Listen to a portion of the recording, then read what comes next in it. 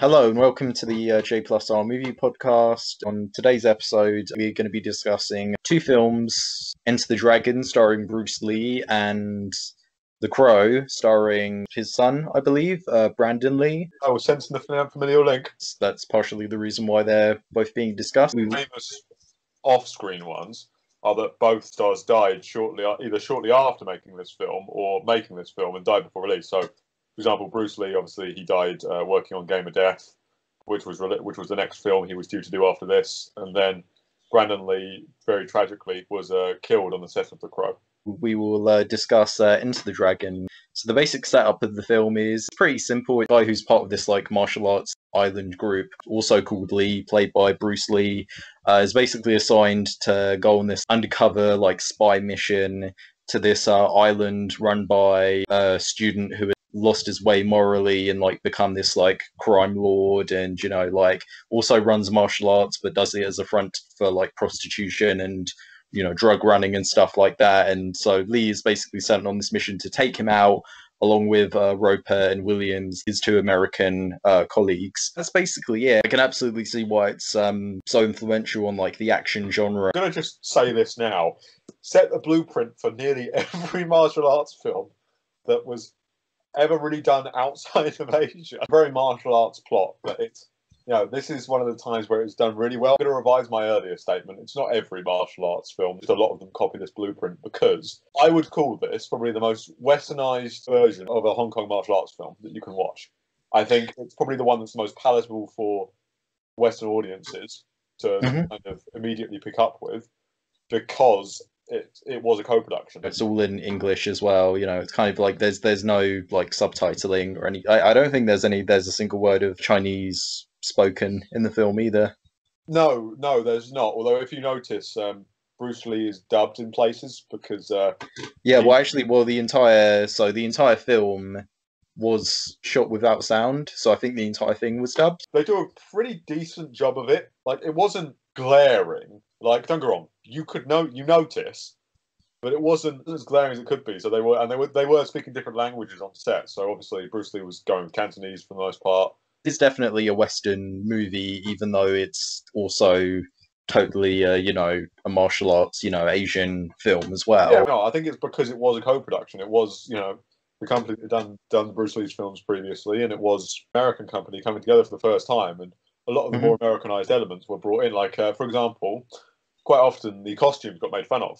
Uh, I'm not sure if you know that, but the costumes everyone was kind of wearing because um, obviously they were mostly based in kung fu, but all the costumes were karate gis. Yeah, I didn't know about that. Yeah, No, but that was something that, that it, gets, it got made fun of back in Hong Kong.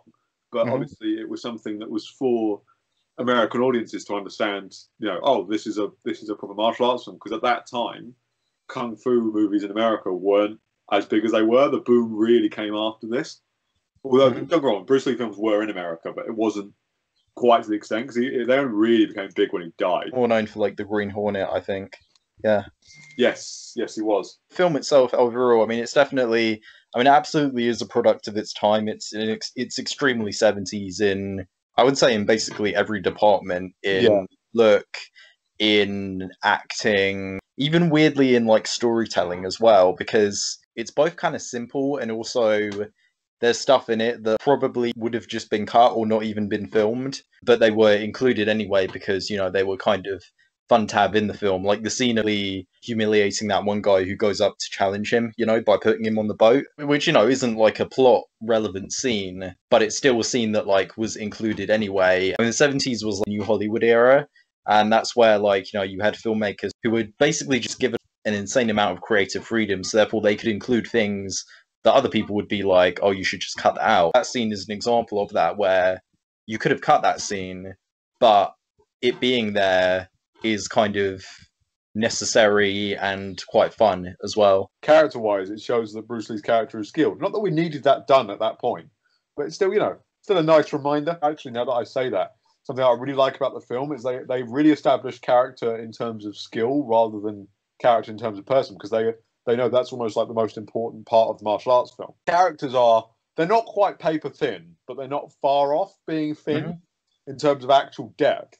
But the thing they do all have is they bring a different element to the action. and that is enough in a film like this. It's kind of a combination. They, on the one hand, establish like especially with all three of the main heroes that they all can like handle themselves in a fight. Script gives the main characters scenes that can show off that they are all very charismatic people. The charisma of the characters is also what kind of like elevates them as well because you know because I mean all we really know in terms of backstory is just very simple reason as to why they're there to begin with. They're on this mission, you know, like Roper, he owes money to people. Uh, Williams on the homeland, he gets like, you know, racist cops constantly attacking him. So that's kind of partially why.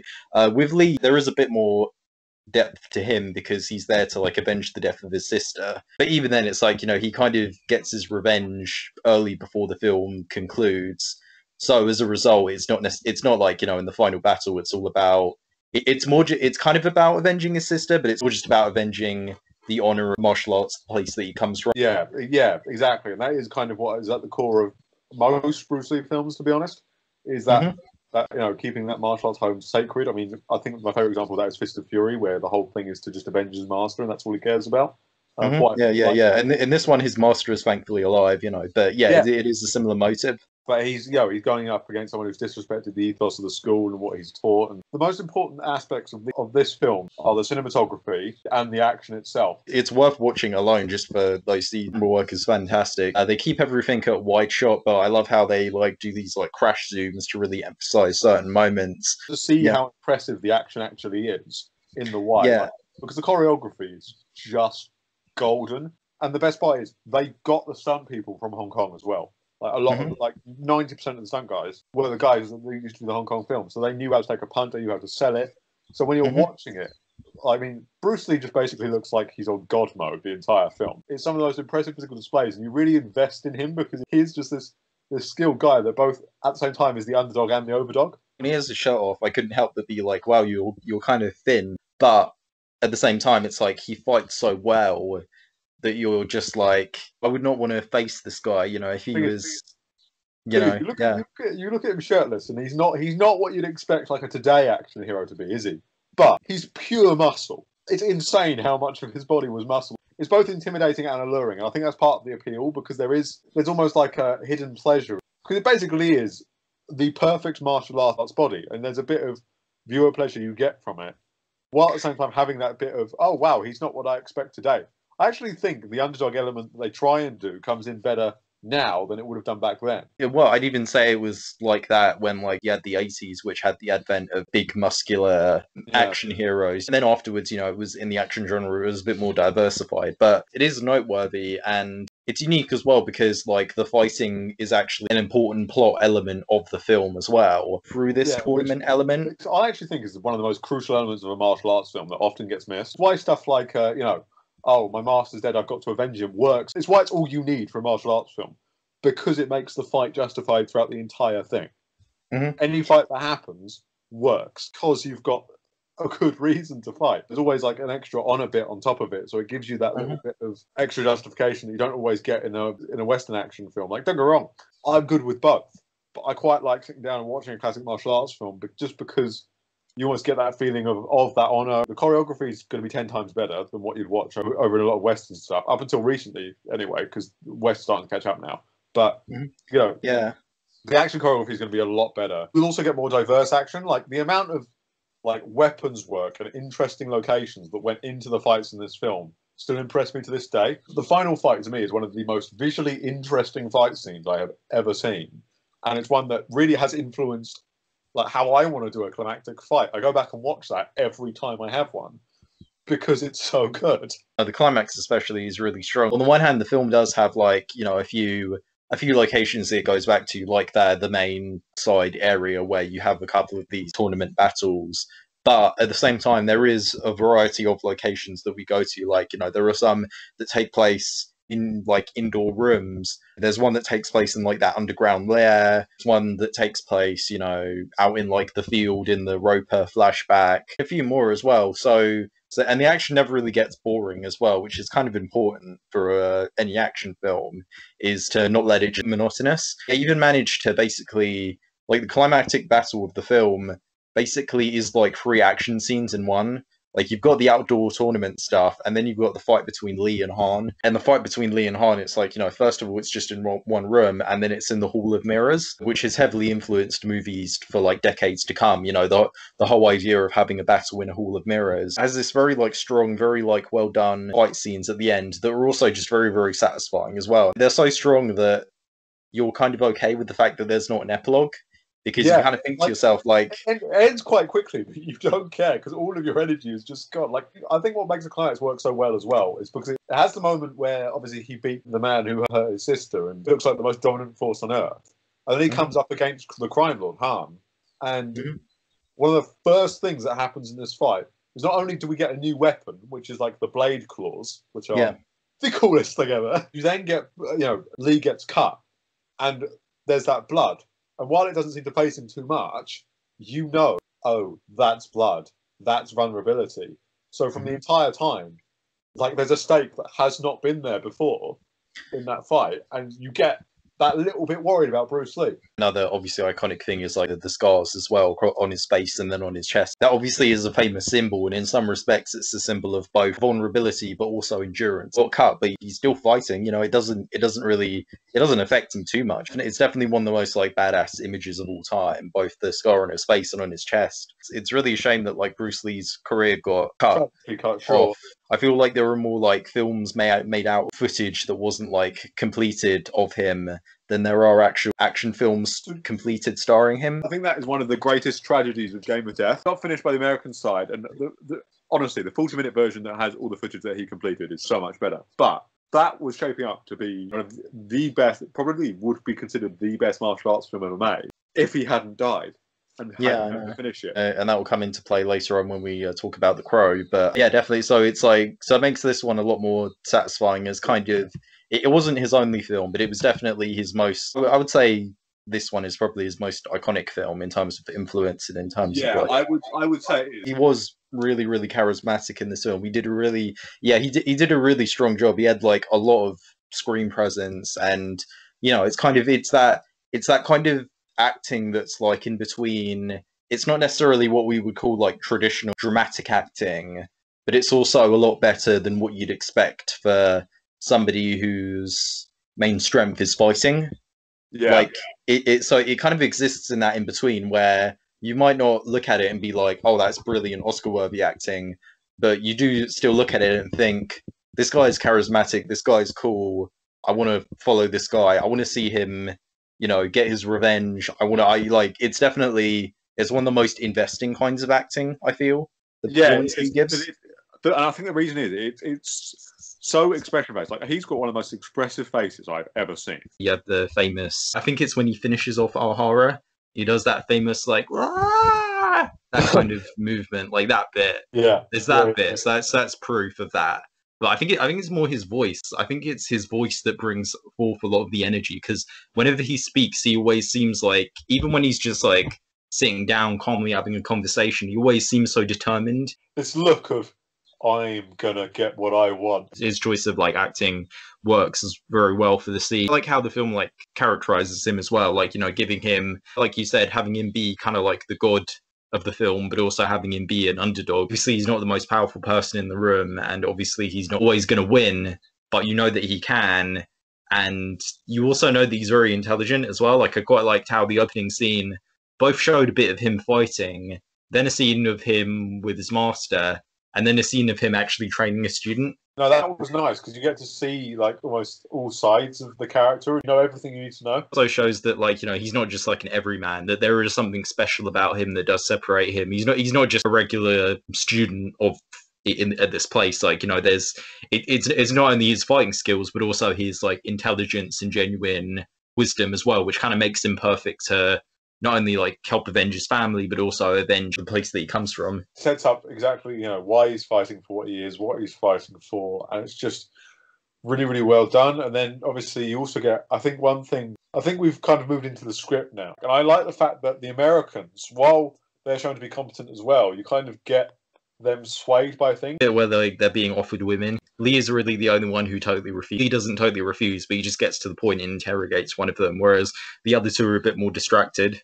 a bit more going for. It. I mean, it gets one of them killed pretty much immediately, and then the other one, Williams obviously takes a bit longer to actually die, but it does lead him on the path where he gets distracted, and that's what ends up getting him killed. So, storytelling wise, I think that the film is fairly good. A decent length. There are some bits where the pacing does slightly go down, and there's maybe not a lot of action, you know, like when it's just like a scene of them just on the island, scene of Lee like kind of sneaking around the place, and other little bits as well. Hmm. Although there is that, the film overall still has a decent flow to it. The only part of the film that I did think was a bit sloppy was it where it's all of them like individual boats and we're getting a flashback to like that kind of shows their motives for why they're there. And that sequence I think went on too long, particularly given how, how extended the first flashback is extends it further when we're getting the second flashback and then extends it even further when we're getting the third flashback.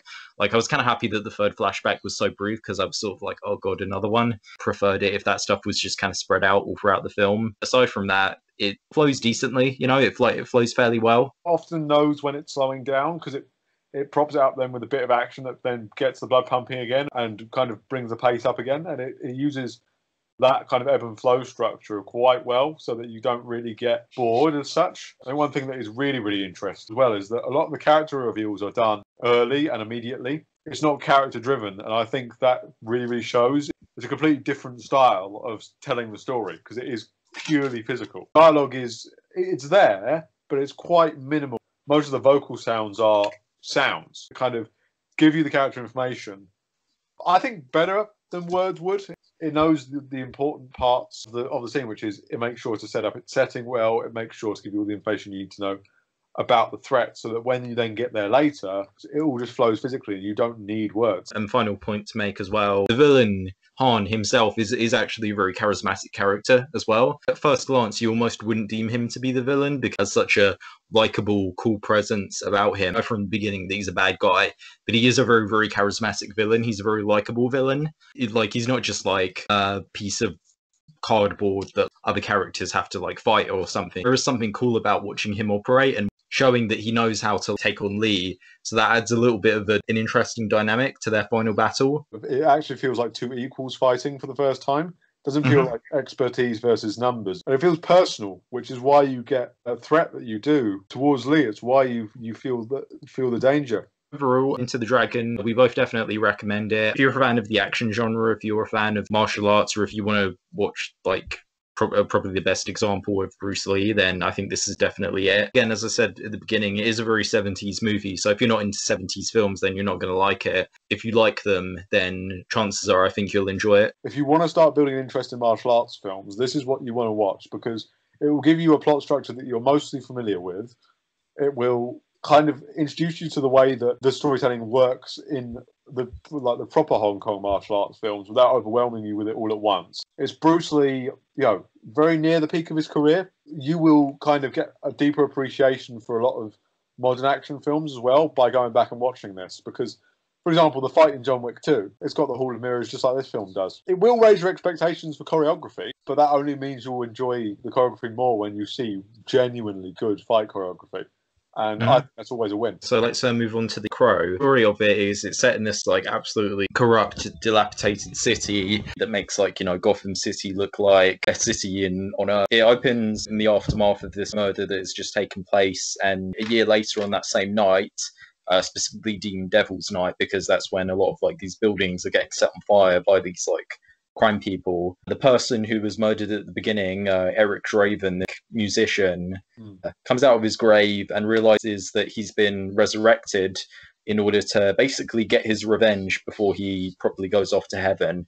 And he's followed around by this crow that kind of guides him and helps him know where he needs to go and like immortal even though he's dead he can't die and the story kind of follows him getting his revenge and also having these memories of his past and you know reconnecting with, his like surrogate daughter and basically going against these like criminals. I have to say the crow kind of operates on two levels for me. On this like super stylish, very very 90s revenge thriller storyline that is cool but isn't necessarily that original. It operates on that level, but I have to be honest, the death of Brandon Lee, especially given how it was during the production of the film, actually casts this very like sad melancholic shadow over the film that actually gives it a lot of soul, I feel, that heightens the emotion that is already there and kind of weirdly makes it even more worthwhile than it would have been. It really does enrich the film, like the knowledge, like as kind of really sad and awful as this sound, really bolsters the effect because the whole point is, uh, you know, the main character is in grief. And he's dead as well. Yeah. He's a dead man in grief, and that works so so well. I mean, especially given like you know how he's remembering his wife, because Lee's wife is still alive to this day. Or actually got married, but I think that they were going to get married before he died. That extra bit of knowledge also adds to the, on the one hand, sad irony of real life versus the film, but also you know again this emotional core. Film on its own already, it, it definitely it has a good emotional core. I feel. Yeah. Um, yeah. but that weirdly sort of elevates it. And on the one hand, like there are some bits in it where you think to yourself, if that hadn't happened, would this be playing out differently? Like, you know, particularly in the opening scene, for example, which starts out on the aftermath of the death. And you wonder to yourself, would the film have had like a prologue and then just shown both deaths in their entirety or something like that? Or or is it just like this just because maybe they weren't able to shoot certain pieces of footage. You know, and all throughout, you you know, you might be thinking, okay, well, they probably used like the stunt double to like finish certain things that they couldn't film. The film still holds together very, very well, actually, uh, despite that tragic element. And again, in some ways, it's even bolstered by it, weirdly enough. Kind of adds to the whole gothic vibe of the film because I think there's one thing that I really want to comment on, and one thing I really love about this film. It's just how gothic it goes. It looks like a gothic dreamscape, and obviously it really helps. The main character is kitted out all in black with thick eyeliner and all of mm-hmm. that. Uh, and, and white such, face paint as well, yeah. yeah. It really adds to it because it gives it the sense of the macabre and the uncanny that this story really needs. needs. And the production design, it reinforces it so well that it just mm-hmm. feels natural, organic, and you buy it immediately. There's no questioning it at all. It's a film that's definitely in love with its own style, but it's also got the grit to it. Especially in the city, it just looks looks like such an awful place to live, but it's also got this like odd beauty about it, beautiful grimness to it, and that helps like you know bolster the story as well because the story itself again is is a fairly simple like revenge narrative. You know, it's like he's finding people who are responsible for his death and his wife's rape and murder. But it does it leads to some very very satisfying sequences. It's got that kind of fun of the revenge movie where you just enjoy seeing this guy just take down these just utterly evil, reprehensible, terrible people. And there is a sense of enjoyment in that. And the film definitely has a lot of great one liners. It's got a lot of really great like deaths. Weirdly is kind of almost like a reverse horror movie. It's almost like a, if you were to make just a supernatural horror film that you made who would typically be the ghostly antagonist, the protagonist. Pretty much a horror film with the with the antagonist as the protagonist instead, and it it works really well because it does have that like 90s grit factor, but not in the way that it got overbearing and a bit too dark for dark's sake, which mm-hmm. happens with yeah. some comic book films. Yeah, they tried to do that with Spawn, although Spawn was just ridiculous for other reasons as well. It felt like a stylistic choice for one, and it, it reflected well, and it also reinforced themes of the story. Yeah, the story was very much about that quest for revenge, once you started that quest for revenge, you're dead anyway. It's personified with him literally being a ghost. And it kind of does explore trauma in a way. He's just tormented by these memories. He's got these romantic memories, but he's also tormented by the memories of what happened to him. And in some ways, it's also about Rick Draven kind of moving on as well, ensuring not only that gets what he wants, but also that the few people that he knows and cares about are able to move on as well. I love that plot point about how Albrecht, I think his name is, like the cop that keeps on like following him around. I really love the small plot point about him pointing out like, hey, smoking's bad for you. And then at the end he's like, no, you know what, I'll quit cigarettes. You know, it's like even just that one little gesture kind of shows it's like he's coming back for revenge, but he also wants to make other people's lives better as well. It kind of shows that there, there is a good heart there. He is kind of partially defined by his like definite violence and that kind of, you know, angst that comes from you know that comes from his situation. But you know he's never like a cruel mean person. He's never like an evil person. We kind of say that he's definitely a, a bit of a nominal hero. He's not really an outright anti-hero but he's not a full hero either. He exists somewhere in between. They don't glamorize what he does either. They just kind of present it quite factually and i think that works really well for it because you sympathize with him because of what happened to him without fully mm-hmm. being able to connect with him and I kind of like that effect because like you want to watch what he's doing, but at the same time you do recognize how you know messed up it is. I would say it that that, that stuff is kind of mitigated by like just how the villains are so evil that you're kind of okay with watching them be killed. Like each of the henchmen he takes down, they all have these like really satisfying, really good death scenes. Like uh, Tin Tin, the first one, gets a whole bunch of knives thrown into him. Fun Boy gets a bunch of needles stabbed into him. The other two, I can't remember their names, but it's the car death.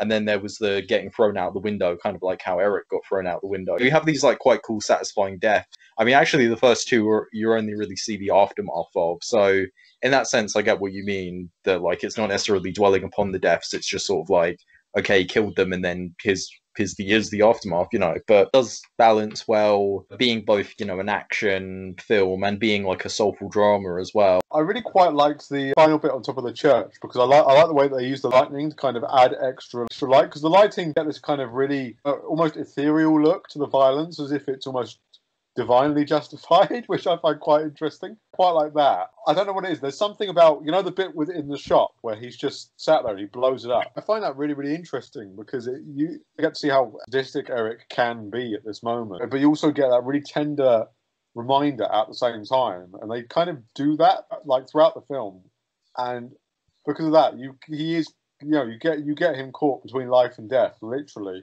forced to be there, and you get the sense that he doesn't like want to exist still but like he need he almost has this need a need to and it's really nice because character need really does rule rule eric not not character want. So on the one hand i do kind of agree you know you get those scenes of him like playing his guitar and then like smashing it. I don't get the sense that he enjoys what he's doing necessarily but i do feel like he does want to do what he does. I do feel like there is certainly a personal desire within well, it. Like, yeah, I mean, not that he doesn't want to do what he's doing. It's more like he doesn't want to be alive, and you can see that. He just wants to reunite with like his wife, and that's what happens at the end. Crow is still alive, but I'm guessing because the crow got injured, and then he got injured a lot, that then then meant that even when the crow was okay and not dead, he still ended up dying naturally like a human would. At the end of it, like that's that's what happens. He goes through his grave and he dies and he sees his wife and he's okay with that. Well, like the way that Eric gets revenge as well against Top Dollar. I really like the way that he took the pain and then reflected it back because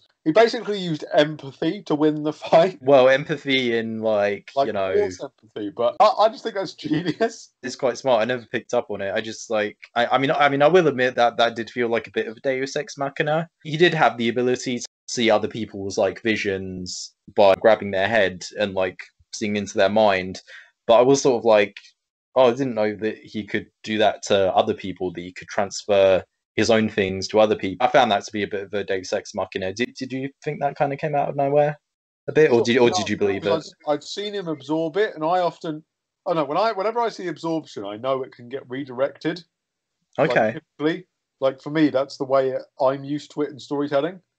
Okay, yeah, I'm kind of correct that there is something quite ironic about that. You know, it's like Top Dollar did all of it, all of this stuff, and Eric puts it into him, and that kills him, or that, or that like pushes him to where he ends up falling off the building and getting impaled. It's almost is this weird point about how evil can't comprehend pain or something, or or that or evil cannot comprehend the pain that they give to good people.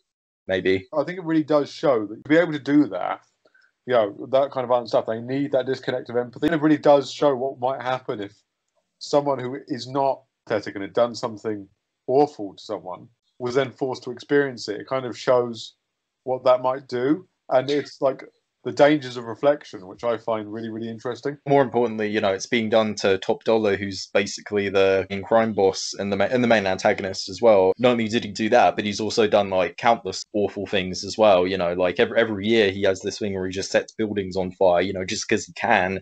And there is something quite like you know, it's like finally he gets to like experience some sort of personal pain and that's used to kill him. Uh, Top Dollar is a really entertaining antagonist. His haircut is a bit ridiculous, but it's kind of made up for by his utterly like disturbing growling voice that he puts on. Yeah, there's this kind of cool demeanor about him, but he also has this just complete and total vacuous sense of morality, which is to say that he basically has no morality. I think my favorite moment with him, and it's kind of a bit of dark humor as well, where he basically uh, Gideon, the pawn shop owner, he basically just interrogates him and then he at first says, "Oh, I'm not going to do anything to you," and then he takes out a sword and then cuts Gideon's throat, yeah. and then he just says words to the effect of, "Oh god damn it, this is going to take too long. Give me the gun," and then he takes out the gun and just shoots him. You know, It's almost like he can't be bothered to be sadistic, so he's just like, "Fuck it, I'm just, I, I just, I just want to kill him. He's gonna, he's gonna bleed to death. I just, I just want to kill him before he, you know." Yeah, like you not- get, like, yeah, yeah. he's always like not patient enough. And there is some other humor throughout the film as well. Like, I don't know if this was supposed to be funny, but I just, I found it quite funny. Was the part where Eric he abducts, like, he eventually kills in the car, but there's, but you have the other one who gets killed last, who's like following them. So Eric kidnaps henchman one. And then henchman two sees it, then gets like hit by a car, and then the guy who like was in the car gets out and starts like attacking him for some reason, and then he attacks that guy and gets in, and then just gets into the car unfazed and starts driving after Eric and uh, the other the henchman who's going to get killed. This, this like police car that's just waiting around notices it and starts like following and chasing after them, and then eventually Eric manages this like maneuvering that then makes the two cars like crash into each other. But that almost felt like dark slapstick almost. You know, I would actually describe that, you know, quite a lot through this film because when you get Eric doing stuff, he has this really kind of almost childlike glee sometimes, but then it snaps immediately into like aggressive. And you Yeah, I, I would say he has more of a snarky sense of humor about it rather than like childlike glee. Um, but he does have a sense of humor, definitely. Okay, yeah, so I can revise that. Yeah, no, that's fine. Yeah, so but you get you know you get this you know the sense that he's he's having you know he is having fun. It's almost like that last vestige of the uh, punk rocker in him still being there because it's known for dark, sadistic, irreverent humor, like just the rock industry in general. And I think it is a good reflection of that. Yeah. The score is cool. It's got a very classical dour note to it at certain points, but it also does lean into the fact that the guy's a rock musician. So let's go for it. Soundtrack is really solid. It's very, it's it's definitely comprised of a lot again 90s esque like music. By far the best use of it is definitely in the bit where Eric becomes the crow. The imagery of like him preparing and putting on the face paint and doing all that stuff set to that song by The Cure just creates this really like cool. It's badass, but it's also very moody as well. And it's kind of like you know, it's like okay, you're gonna like get on this path Eric, you know, you're like, go on, go and do this. And then the actual score itself does have a lot, does have these like emotional notes to it. I will admit, I did recognize the main theme. I don't know if that main theme has been like used in quite a lot of films, but for some reason I recognized it. Did Did you recognize the? Uh, I'm talking about the main like dramatic theme.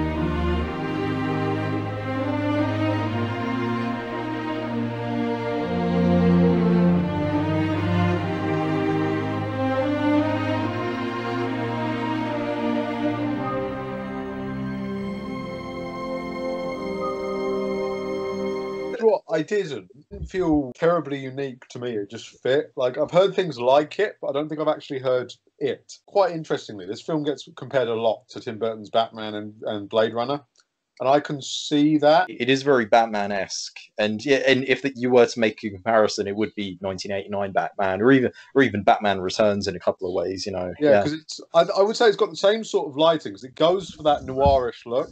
I would say it's noir put in with 90s grunge. a, a good meeting of uh, style and realism in it, in it as much as you can with this with, with like a film with like such supernatural concept. be honest, even the supernatural elements in the film are kind of downplayed as well. They're not like totally there. They're only really there in the crow concept. If you remove Eric from the film, you could probably believe that this stuff could happen in reality. And it's only after he becomes the crow, to be fair. Like you can completely believe that someone would just murder a punk rocker and, and his wife in an apartment, especially like with where they filmed it, because obviously they filmed it in Detroit, and it kind of. Mhm. I know the city's not, but it kind of evokes Detroit and everything. And Detroit's a hellhole sometimes. Kind of adds that bit of authenticity to the film. I think one thing we should talk about this as well is is the action because it's different from how how action was done in his dad's films, Mhm. but it's still really impressive. The only action scene that um, I wasn't a huge fan of was like that that big one where it's all the people in the room with like top dollar, and I wasn't a huge fan of that fight scene. But every other fight scene I thought was really well handled. You know, I really loved I loved like you know the fighting and the, the the choreography. I loved the direction. It was all it was very clear. It was easy to tell what was going on. Like, I think just because of the added like violence, that did add something to the fights as well. Even knowing that Eric is invincible, there was still this sense of like brutal violence to a lot of the scenes that amplified the I think the brutal violence, what it did was really, it really enhanced the uh, kind of like anger behind it. he doesn't just shoot Funboy in the head, he shoots Funboy in the leg, takes him to the bath, and then off screen just stabs him with a whole bunch of needles. You know, that is fucked up. But it's it, it, it's really awesome. as well. Uh, I think you know it really adds to that. You know, you get that level of hate in Eric. Mhm. You don't always see him express. He doesn't ever express it directly necessarily. Like he expresses that he's got that fury and he's got that drive to kill them, but he's you don't get to see like the, di- the depth of the hate until you look at what he actually does. Like you definitely see it in the car bit because that's such a complex way of killing someone. He doesn't want to just make this instant and painless. It's like he wants to make it complicated. He wants to to make this car death noteworthy. It's not like he wants to make the guy suffer, but it's more like he just wants to to make absolutely sure that this guy dies. He's fine with doing it in a very creative fashion. What that's also held up by a lot is Brandon Lee's performance as well. There's the added thing about like his death kind of shadowing the film, but even if you just take that away, he is really good in this film He really does capture that melancholy well. his performance kind of has, has two things. It's kind of both the stuff you get in the flashbacks where you where you see him being all loving and romantic, and then you kind of have like a mixture of both that melancholy and sadness, but also that hatred, kind of snarky sense of humor, and just total badassery. And he does pull it off in a very strong way. There, there are some very nuanced bits of acting, like the bit where